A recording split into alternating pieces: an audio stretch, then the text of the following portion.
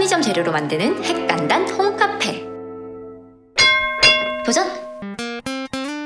죠리퐁 라떼 준비물은 죠리퐁, 얼음 담긴 컵, 투게더, 우유, 아메리카노입니다. 먼저 진한 아메리카노를 만들어야 하기 때문에 아메리카노 커피 스틱을 준비해줍니다. 저는 3개로 했는데 나중에 더 추가했으니 기본 5개 넣어주세요.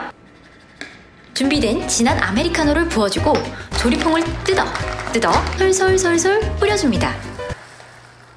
드디어 마지막 차례 우유 붓기 이것이 홈카페의 묘미인가?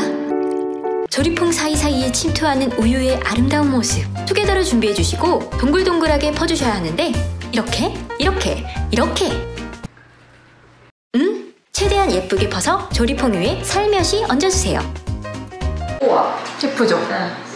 짜라란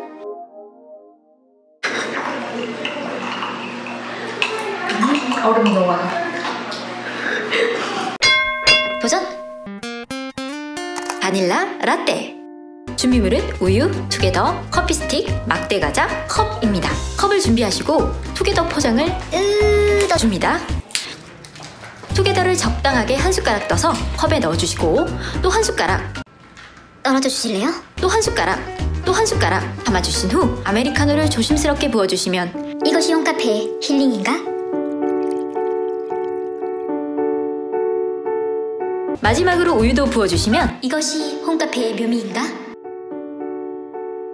막대 과자를 준비해주시고 잘 꽂아주세요. 여기가 아닌가? 짜라란!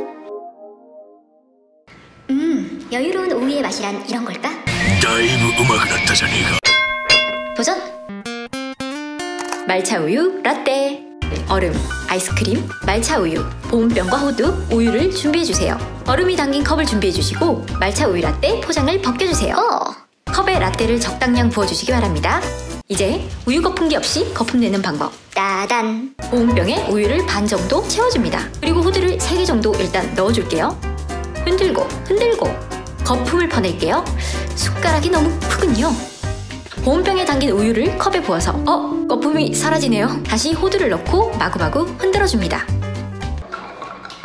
이것은 거품인가 우유인가 우유인가 거품인가 그냥 이거 하나 사는 걸로 그래도 희망을 가지고 아이스크림을 넣어보겠습니다. 이것은 라떼인가 그냥 섞임인가 섞임인가 라떼인가 도전!